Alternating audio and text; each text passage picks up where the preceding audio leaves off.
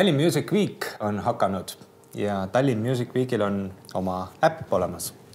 ja äpis saab teha ägedaid draamiga pilte.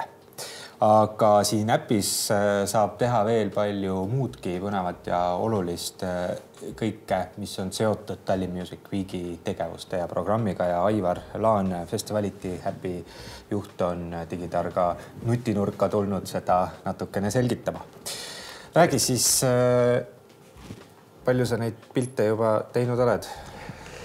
mul endal ei ole kahjuks pildi tegemiseks väga aega olnud viimased kolm kuud, et me oleme kolm kuud kuue inimesega hommikust õhtuni Tallinn Music Weeki platvormi ehitanud ja ja Tallinn Music Week on meie jaoks esimene suur festival, millega me välja tuleme ja see on ka esimest korda festivali jaoks, kui nad üldse mobiilirakendust kasutavad ja see on ka igati põhjendatud, sellepärast et Eh, muusikafestivalist ja konverentsist on saanud suur eh, linnakultuurifestival, eh, mis on omanäoline ka teiste Euroopa analoogsete linnafestivalide hulgas ja, ja äpp kindlasti aitab tavakülastajal oluliselt lihtsamini leida väga mahukast programmist asju üles, navigeerida nii ka kohalikuga kui ka välismaalasena tegelikult Tallinna kaheksakümne erineva kontserdikoha vahel leida meelepärast kahesaja viiekümne artisti hulgast, nii et tegelikult äh, äpp on kindlasti nagu reaalne töövahend kogu selle nädala jooksul kõikidele festivali külastajatele, olemata sellest, kas nad tulevad vaatama ühte-kahte kontserti või nad on äh,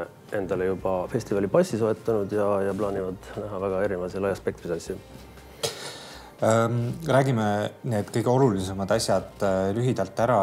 millistele mobiiliplatvormidele on see äpp võimalik alla laadida? äpp on nii siis äh, iPhone idele kui ka kõikidele Androididele sobiv ja töötab ka tegelikult tabletis, aga ta ei ole spetsiaalselt tableti jaoks optimeeritud, aga ta on täiesti toimiv ka tavalistes nii-öelda tahvelarvutites ja äpp on tasuta allalaetav? äpp on tasuta allalaetav ja nii App Store'ist kui siis Google Playst äh, otsige märksõnaga Tallinn Music Week, leiab ka DMV-ga, et kuidas, kuidas, kuidas mugavam on. samuti otselingid on täiesti olemas Tallinn Music Weeki veebis kus saab otse endale telefoni laadida.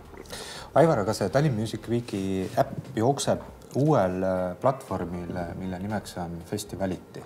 Te oletegi loonud spetsiaalselt sellise äpikeskkonna, mis äh, sobitub erinevate suurte ja väikeste festivalidega. täpselt, meie missioon on väga lihtne, aidata festivalid ja suurüritused mobiili, et nii ootamatu kui see ka ei tundu maailmas on kakskümmend miljonit äh, üritust väga laias spektris, nii meelelahutuslikest nagu näiteks kontserdid kuni konverentside ja ütleme messideni ja tegelikult äh, nende ürituste mobiili adoptsioon on üllatavalt madal, alates äh, mobiilsest ajaloost, mis on seitse-kaheksa aastat tagasi esimese iPhone'i tulekuga, tegelikult võime täna öelda, et alla kahe protsendi maailma suurüritustest on alla kahe protsendi on läinud mobiili ehk siis kasutavad ka reaalselt igapäevaselt oma oma klientide jaoks äh, festivalidel ja suurüritustel rakendusi, ehk siis see on üllatavalt väike number ja sellel on palju põhjuseid. üks kindlasti on see, et, et veeb on täna aidanud lahendada väga palju probleeme ära ja äh, minek mobiili, mis on seotud kuludega, ressurssidega, ei ole tihti olnud äh, lihtne Äh, korraldajate jaoks ja me üritame kõike seda nagu muuta, äh, automatiseerides väga palju siis äh, ürituste vajadusest lähtuvat mobiilirakenduste loomist, et see on kiire, see on kuluefektiivne ja, ja tegelikult kõik võidavad sellest. no mis siis on sinu vaatest kõige olulisem vahe ühel responsive veebil festivalil ja, ja spetsiaalselt äh, festivalil loodud äpil? Äh, seal on väga palju äh, vahesid, et ütleme kasutajakogemuse seisukohast, kui veeb ei võimalda väga palju asju tegelikult teha, et alustame kasvõi lihtsast näitest. meil on Tallinn Music Week, nädal aega kestab, korraldaja tahaks teavitada kõiki äpi kasutajaid väga tihti näiteks programmi muudatustest, mingitest uutest programmi lisanduvatest üritustest, mida väga tihti tuleb ka impromptu või näiteks äh, mõnest ägedast äh, erikontserdist, äh, secret kontsert, mis tuleb nii-öelda ootamatult, et tüüpi sellist jooksvat kommunikatsiooni, seda ei ole võimalik veebi kaudu teha mm, -hmm. seda saab teha tegelikult kõikidele äpi kasutajatele äppi. ja see on nagu üks nagu lihtne näide. teine asi, mida me testime selle aasta siis festivali raames on äh, kohtade täituvus, kuna õhtused äh, festivalikohad on tihti, äh, populaarsemad kohad on väga tihti nagu ülerahvastatud ja me anname siis läbi äpi tegelikult sellist adekvaatset koha täituvuse infot ka kõikidele äpi kasutajatele, kui nad on pannud oma kavasse näiteks mingeid artiste ja kontserte, üritusi, mida nad tahavad minna vaatama, siis me saame ennetavalt äh, anda neile. kas on järjekord või ei ole? põhimõtteliselt me saame proaktiivselt anda teada, et kui see olukord muutub kriitiliseks, et näiteks koht hakkab täis saama ja me näeme, et sinul on kavasse pandud näiteks Vangraali teatrisse mingi konkreetne üritus, me saame sulle ennetavalt äh, anda nagu märku, et võib-olla on äh, hetkel võib-olla oleks parem võtta oma kavast näiteks järgmine ja teha vahepeal näiteks Tallinn Music Weeki pop-up restoranis väike trink. arusaadav, mis on need infovood või funktsioonid, mida üks festivali külastaja ise tahab ja vajab kasutada selleks, et, et äh, mõista seda eriti nii suure äh, linnafestivali mõttes nagu Tallinn Music Week on? jah, no ma arvan, et see, see põhikomponent on ikkagi see, et, et meil on hea ülevaade artistidest, sul on võimalik tutvuda kogu selle artistiprogrammiga, sul on võimalik vaadata absoluutselt kõiki Tallinn Music Weeki kaheksakümmend kohta, leida nad kaardil üles Äh, tutvuda nende kohtade kirjeldusega väga paljudel kohtadel, eriti näiteks äh, kahekümne viiel Tallinna valitud restoranil, mis on siis teist programmi liikmed.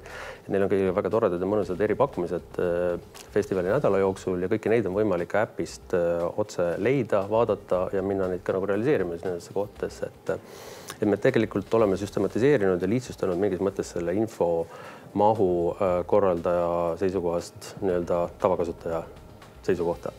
et, et tavakasut-. see on, see on suur töö, mis te olete ära teinud.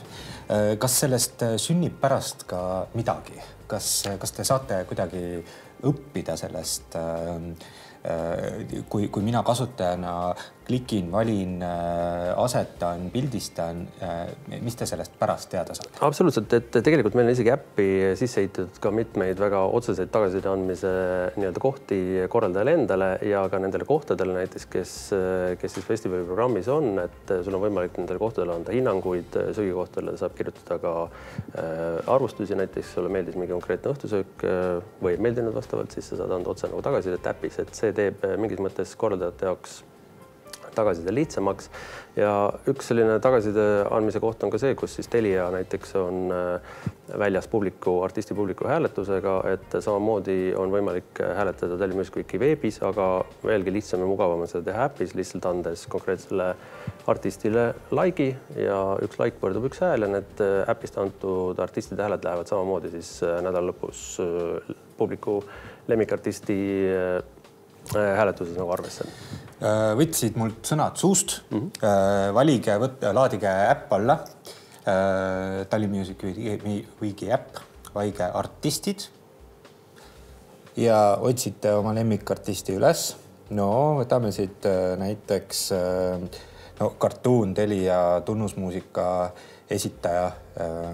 siit saab vaadata, kus ta esineb, millega tegeleb ja siin on üks ilus südamekujuline nupp siin saab isegi kuulata. saab kuulata kõiki artisti lugusid playlist'is, mis on üles laetud. ja loomulikult meile see meeldib, siis me vajutame siia südamekesele ja ja nüüd ma olen kirjas, kui. sa oled andnud hääle kartuunile. hääleandja kartuunile valige Tallinn Music Weeki lemmikartist, tehke seda äpist või kodulehelt, võite ka teha, aga ikkagi äpist laadige äpp alla tasuta ja nautige festivali. aitäh sulle. tänud